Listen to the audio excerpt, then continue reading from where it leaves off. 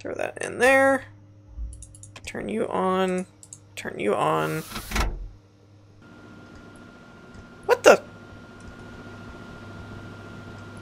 Hold up. What just happened?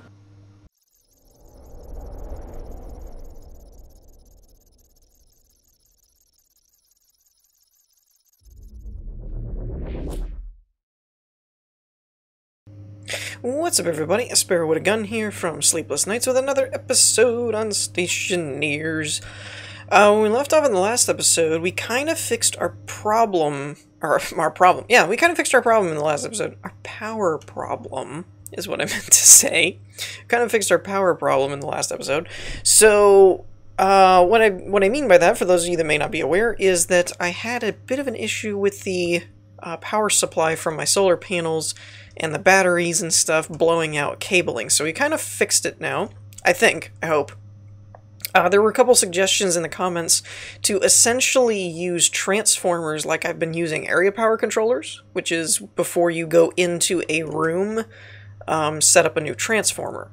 I thought about it, um, and it isn't a bad idea, I would just have to reconfigure a lot that I don't feel I want to do just yet, and I don't know if it's entirely necessary or if it's kind of like uh, really, really making sure that nothing blows out. So we'll have to see. If we keep going the way that we are and we get more blowouts eventually, then I'll probably have to redo it. I did like the idea of a centralized transformer room. Um, essentially, it'd be one of those where you'd have Hmm, probably somewhere over here, I guess, for me, or maybe somewhere over the top, not sure.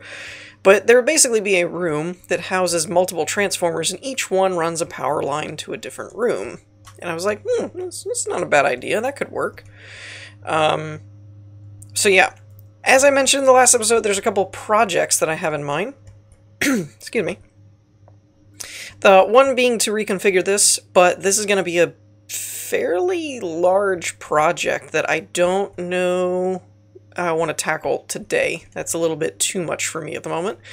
Um, this one wouldn't be too bad, and it's probably what we're going to ultimately ultimately end up doing, and that's a way to connect to multiple different um, gases, power, and whatnot. And the other was to move the solar panels, which that one wouldn't be a bad one either. Uh, it really would mostly come down to rewiring the um, rewiring the logic back here for our power display readout, which wouldn't be too difficult. It's just it is kind of one of those where it's like you know I have to actually do it at some point. Um, as well as moving all the cabling and logic for the solar panels. I think I'm going to put it over here somewhere, I think. Which, actually, in hindsight, if I did it that way, if I moved it over here, I probably could put the screen right here rather than kind of stuck back over here. At the time that I did this, I didn't have the fabricator, so, you know, there's that. Um, so yeah, I might end up doing that, actually. I'm not sure. It is a little bit of a time-consuming undertaking, but it wouldn't actually be too difficult. It'd just be a lot of work. Let me just kind of take a gander here and see what I'd be looking at. So obviously that will need to probably stay where it is, and I don't really see a problem with that. I don't really see a, a need not to. And all of these like power units and all that kind of stuff, they can really stay... I don't have to do anything too crazy if I move this stuff. It would just be like this line would have to be over here kind of thing. And the power controller would have to be like on that wall. Wouldn't really be too terrible. Um, now, if my memory serves me, I feel like... Okay, that's okay. I feel like this one does not have... Oh, it does. Okay, I did seal it up. I felt like it didn't have a seal. Um, alright, we can toss these. I don't know why I'm getting little lag spikes in this either. I, I shouldn't say lag, it's more frame rate. One minute it's really super smooth, and then like I'll do something and it kind of just stutters and jitters and things. It's really kind of weird. We also have a bit of an issue with our power supply in general, if I'm going to be honest. Um, let me see if I could actually take care of that. Let's get rid of that for the moment. Which is bad because I might have to let this clear. Because, see, this is something that happens um, with this machine. For some reason, if you um, pick something different, it, like, doesn't finish what it was on. It's really kind of weird. I don't like it. I feel like that's a bug that needs to be fixed. Um, that was a good example of it. You guys actually saw it firsthand. I've seen it before when you cancel things, and then if I had just started something, it would like consume the materials of the thing I'm trying to make, but it would only give me cable. It's really weird. It's very odd. So let's see if we can do... I don't think we need more batteries at the moment. What we need is more solar panels, I believe. Now, if I can just recall where they're at. I think it's under kit, solar panels. There we go. Um, now, what does this cost? Okay, we made one more. I need more iron and more copper. Let's add... What do I have up there? I think I did in intervals of three, so let's add three more. Or, I guess, two more would make it three. And then we're going to turn these two off. So I need iron and copper. Alrighty, so I'm about to do a... Oh, I actually forgot about this. I have some in my inventory. I'm about to do a uh, mining run because I have enough iron, I think, but I don't have any copper left. So we need to get some more copper. Now, I'm also going to be keeping an eye out for um, copper, gold, and iron, just because... Um, I don't remember exactly what I need, but I know it's some combination of those in order to do um, the chemical, not chemical station, the reagent recycler and stuff like that in order to recycle our CO2. Uh, that's the one I forgot about, but we definitely have a bit of a power deficit at the moment, so I think focusing on the uh, solar panels and stuff is probably the better idea. Um, now, like I said, I don't know what's causing this exactly because we were fine until we had the burnout. Now that could mean that we had enough battery power to sustain our um, our base until the solar panels came up and then it would recharge them and it was giving I don't know but we seem to be bleeding power now um, as as in it's not even to the next day yet and we've lost over I don't know 20 30% maybe because I believe it was somewhere in the 32 bracket uh, when I last left, or something like that. I'm not sure, but we're losing a lot of power. Now, granted, daylight's coming up, but still, uh, still seems a bit over the top. Um, so we're going to turn on this guy so that we make sure that we have a tracking beacon. I've gotten tired of getting lost. Um, and yeah, I'm going to do a bit of a mining run. Uh, now, I normally... Oh, I've got my helmet on or my helmet open. I was like, what? And it and it does say toxin detected. Now, with um with the advent of the way we set up the new um call it air vent stuff that we set it up to where it won't actually empty the room and all that kind of stuff um i feel a bit more confident in that we could probably set it back to 80 20 um, right now, it's at that 79, something like that bracket. And I'm thinking 80-20 would probably be better, because when it was at 80% and 20%, um, there was no... It wouldn't come up and say toxins detected and stuff like that. It was fine.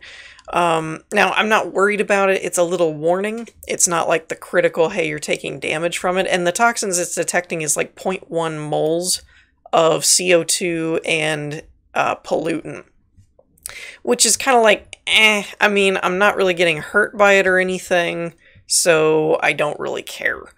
Um, however, just for, you know, perfectionism, if you will, it might not be a bad idea to actually set it um, to have, uh, it the, um, yeah, I can't think today. 80-20. It might be it might be good to actually set it to 80-20 um, so that we don't get those little errors and things like that. And now that I've set it up to where the room shouldn't actually ever be void of any kind of atmosphere, um, that should work in theory. I'm not really sure. We'll have to experiment with that on another episode. I think it's working for now, and right now we have a much bigger problem with our power deficit. Um, ooh, but uh, yeah, so I'm going to go through and do some mining. Hopefully we get what we need, in theory. Uh, and then I will be back when we can build some more solar panels. Alrighty, so here's another example of what I was talking about where I left, the sun was coming up, and it was at like 34 or 5 when I first walked in, now it's down to 32. So, yeah. Um, and I also apparently have a leak in my suit, so that's a problem. Um, let's actually open our helmet up. We're gonna pull this in here. Air tank critical. Uh, where's the valve? Can I can I get to the valve? I need the valve. Ugh. Alright, well I'm gonna have to deal with that in a minute. Uh, for now, let's actually swap the battery out. I'm gonna drop that tank there. I probably need another... Oh, yep, there's the leak. Heh, you can see it. Luckily for me, we are in the base. So what I'm what I'm going to do is turn this off. We're going to drop that there, and I'm kind of going to do the same thing for the helmet uh, because I need to go get some stuff. Now, the hard part here is I hope that uh, I hope that the um, system here will have enough power for me to smelt up what I need in order to make more solar panels. So that's kind of interesting. Um, I can't really see very well without my headlamps, but I think the, there it is. Atmospheric analyzer cartridge is in there. Alright, so we have that. Oh, that's right. Got this in here too. We'll go ahead and throw that in there. There we go. Uh, what am I looking for? What am I looking for? Duct tape. Duct tape, duct tape, duct tape. There we go. That's what I need. Let's see if we can fix up our, our suit. So, how's our power doing? 30. I don't get it, really. I'm not really sure exactly what's going on here. Do I have to have it equipped, maybe? I forget. Damage. Yeah, you have to have it equipped. Opened. Okay. Now, the one thing I don't know is if you'll notice the bar has not changed, even though we repaired the suit, or the, the helmet. Critical. Suit damage. Um, so what I'm wondering about is, is that some kind of, like, how many repairs you have, maybe? And not the, uh, not more of basically like the that's how damaged it is but how many repairs you have. I didn't think about that for a long time but the more i look at it the more i'm really kind of thinking that's exactly what's going on is it's a um oops. Let's, we can go ahead and turn this light on for now. I was i was lowering the lights and stuff to try and minimize um essentially the power drain. I'm not really sure how where all this extra drain is coming from. Um, so I'm trying to... I might have to move. I might have to take up another locker here. And I did get, as you can tell, I did get some... We'll throw those right here for now. Put that one there and that one there. And the rest are oxides and stuff we need to leave in our mining bag. That was weird. Couldn't couldn't go forward. Uh, we might want to smelt that up as well. But yeah, I don't know if it's all the uh, all the lights or or what. Because like I said, before we had our power debacle, it seemed like it was sustaining things well enough, and now it's it's just not. I mean, we're back up, but we're back up to daylight again. So uh, I can't seem to fill the tanks as I guess my my thing. And I did store this in here just as a, a temporary. Okay, um, let's throw this over here. I need my tool bag, actually. Give me this. And let's unhook this for a second. If I can. There we go. And let's drag this over here, because I need to fill up the tank. Give me this.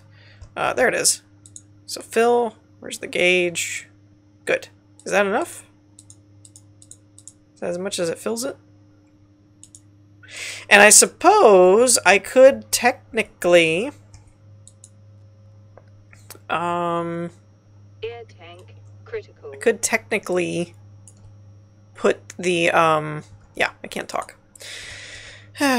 I could technically put this air tank to where it vented and filled up the, the room, but I don't really have a way to fill up the tank, so I'm going to wait on that until we get this guy um, actually hooked up. Once we get that hooked up to where we can actually just throw our suit down and it will be filled and drained and all that stuff, uh, then we could actually pump this portable tank into um, into the base's atmospheric system. Now, one thing that I also wondered about, I guess we don't really need this either at the moment. The other thing I also wondered about is if the filters now are in a spot where you have to change your filter out, I wonder if the actual atmospheric stuff up up in the um, our atmospheric control actually requires that as well.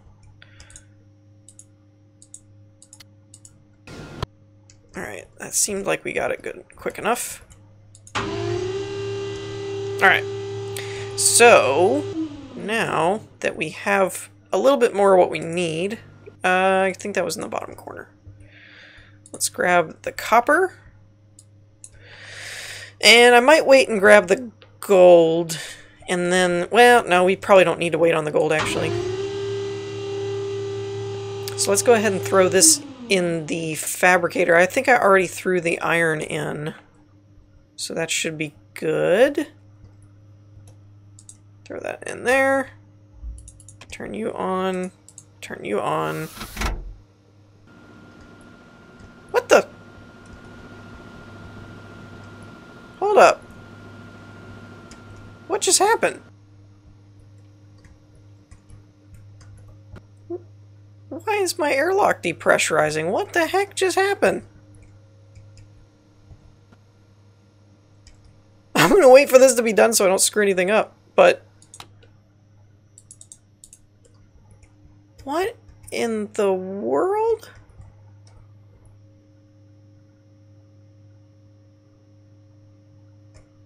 Did I maybe hit the button? What in the heck?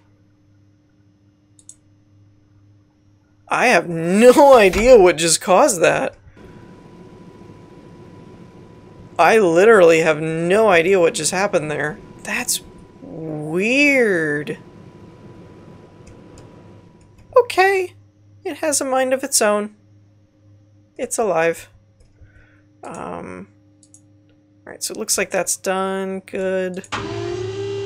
I'm really, really glad that we actually have our uh, pressurizations and all that kind of stuff kind of squared away at this point to where we can um, open doors and do like the arc furnace and all that kind of stuff and it'll actually just kind of shift things around. I actually need some glass from down here now that I think about it. So I'm going to go work on trying to move the solar panel stuff. I may, I may, um, okay, I need to see what I'm doing here.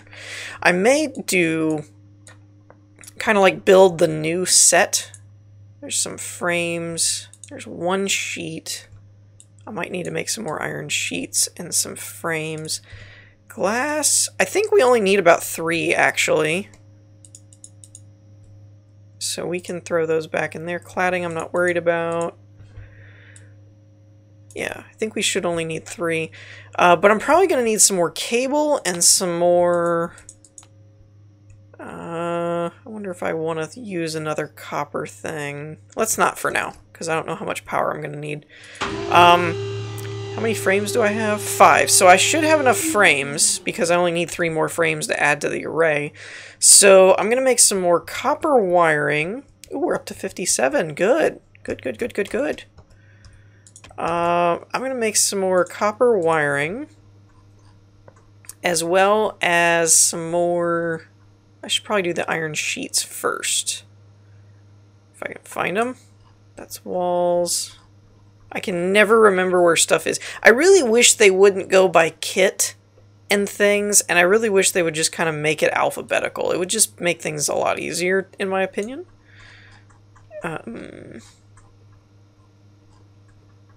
yeah. Anyways, I'm going to make some more of this stuff, and then see if we can't get the, uh, the array moved. Alrighty, so I made a bit of progress here. I've got a new area set up for the um, the solar array, which should give me enough space as well as give me a little bit more um, room for growth. Now, I might move a couple of things around here. I'm not really sure yet uh, because how is this getting any efficiency? There's no there's no power. Uh, but because I want to have one square for like transformers, one square for batteries, but I think I might I think I might want to do one square for logic. And if I do it that way, I shouldn't have too much of a problem. So I may move this down one. Let me see if I can grab, yeah, there we go. Let's grab a hold of this. And I thought about doing the combined, and that would minimize the cable, um, but I'm not really sure. Not really sure about that yet. So for now, I'm going to keep it as separate uh, data versus power and see how that goes. Um, and I saved myself a little bit of space, or not space, uh, materials, in that I only did, um, whatchamacallit, I only did one, uh, one sheet for each frame.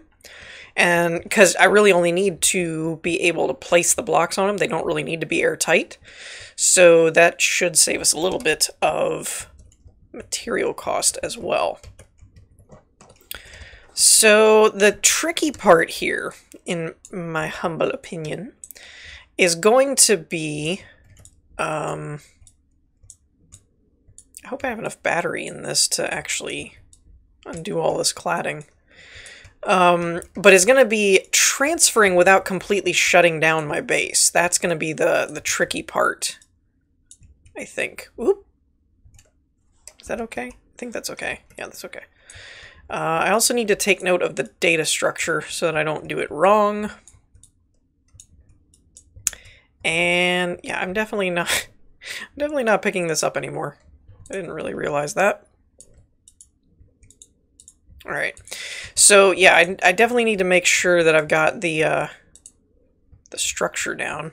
So what what do we got here? Just got to remind myself. I know there's a um ba -ba -ba a, a sensor right there, daylight sensor. So I'll need to move that. Um, let's see, what else we got? We have a logic reader, math unit, memory, batch writer, um, divides. Okay, so I'll figure all that out. But yeah, so that's the, the new structure at the moment is just going to be a straight array. And that should not only add another uh, three solar panels to the array, which will improve our power, but it will also, like in this situation, create more efficiency. This is at zero efficiency. This is at 74. So we're losing um, two-thirds of our array when it gets to an angle like this. Bad. Very, very bad.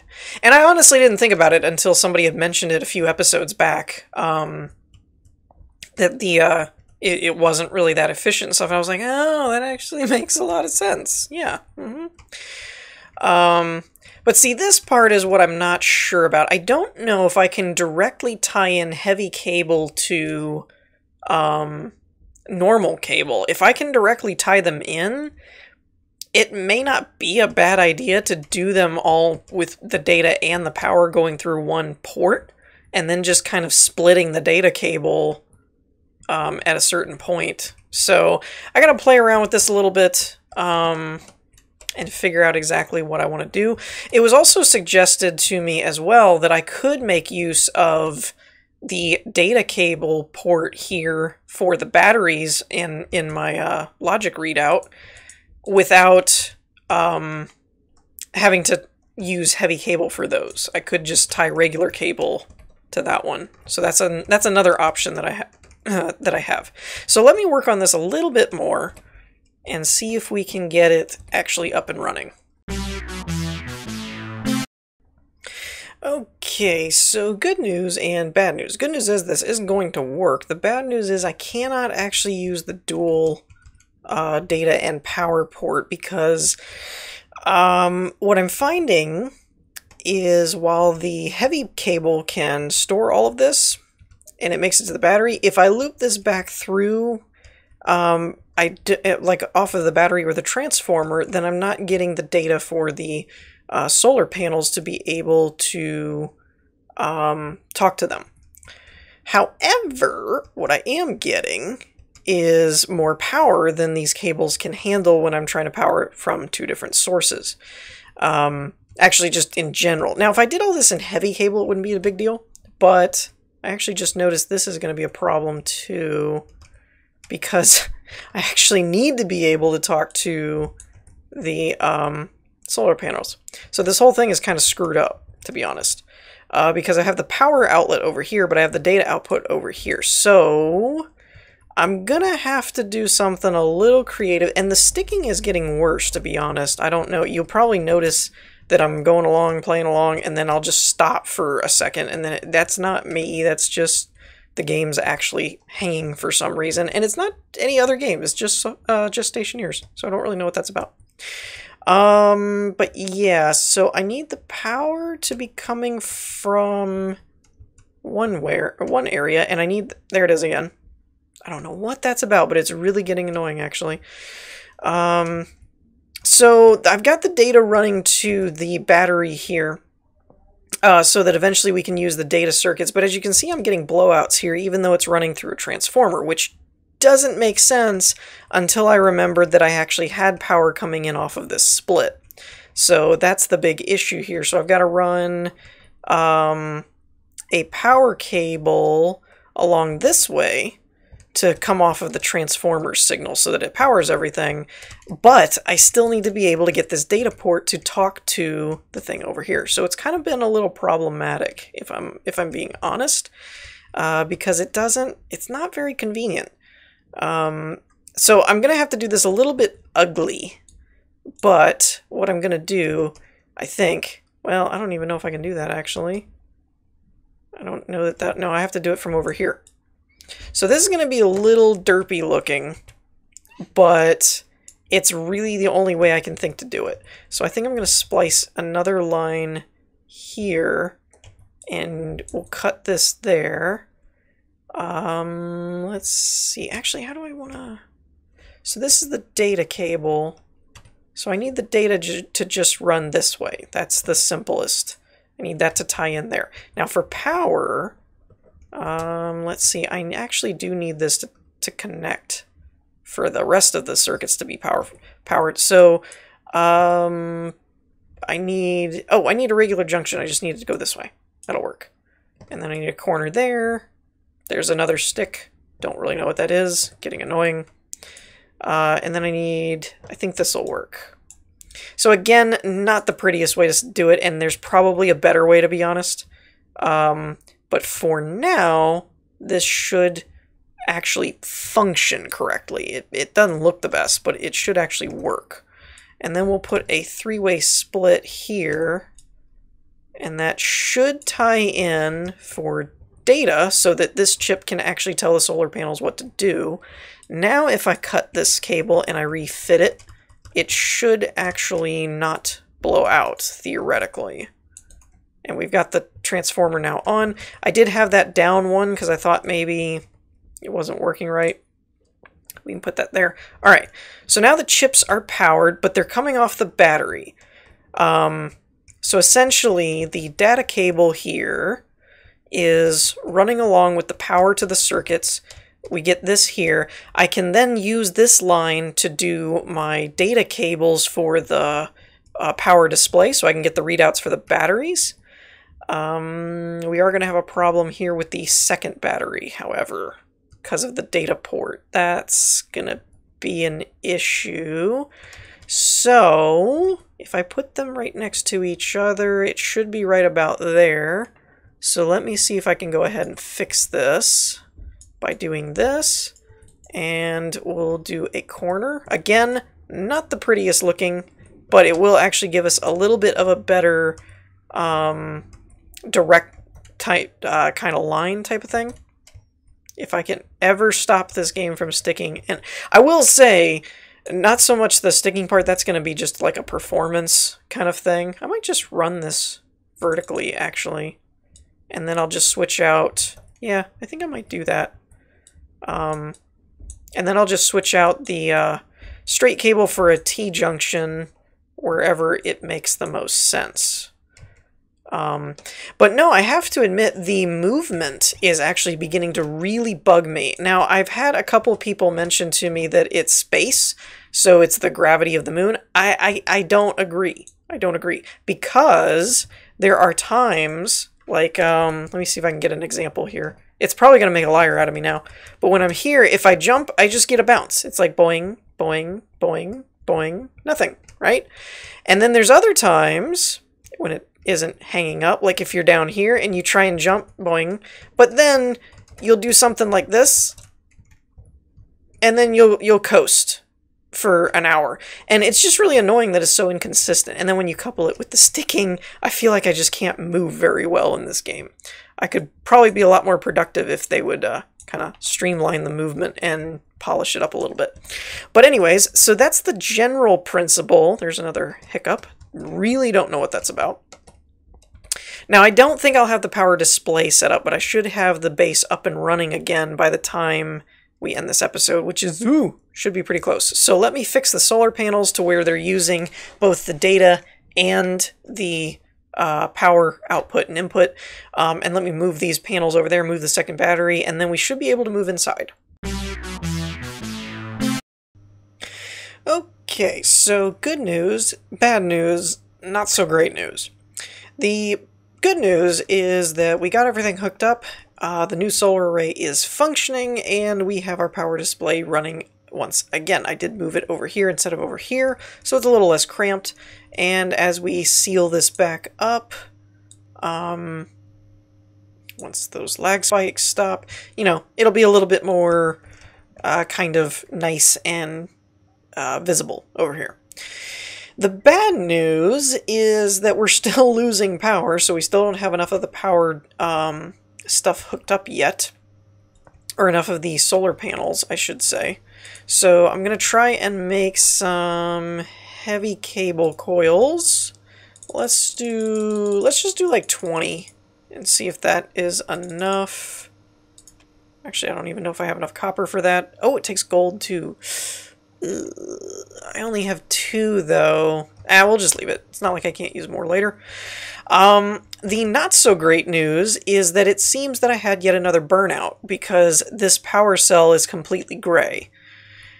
Where I'm getting these burnouts, I don't know, because I did not hook anything up until the tr uh, transformer was assembled and hooked up, so I don't know what could have burned it out.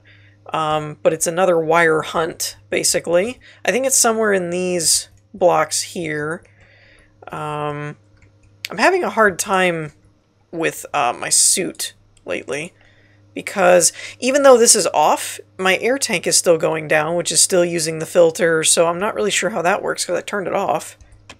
Uh, but if we turn that back on, I'll, I'll, get my lights again at least. So I'm pretty sure it's in here somewhere, uh, but I'm not really sure because obviously the light is grayed out here. Um, these in here still work, but if I remember correctly, they're either tied to... I think they're tied to the external or something. Um, so yeah, I have a bit of a power hunt there, or a wire hunt on that regard. But we have everything mostly working. And we do need um, some more power, though, still. Hopefully the added three solar panels and the improved efficiency will be enough to compensate, but the nice part is we can always add more, which is kind of cool the way this is set up now. And it looks like I'm going to be out of copper. Um, one thing I wanted to note here is this is the original uh, from the transformer itself line. So I went ahead and hooked all the logic up to that and then split it to where the room itself is powered that way. The All of the logic for reading the battery panels, uh, battery output is through the transformer circuit. So I thought that was kind of cool.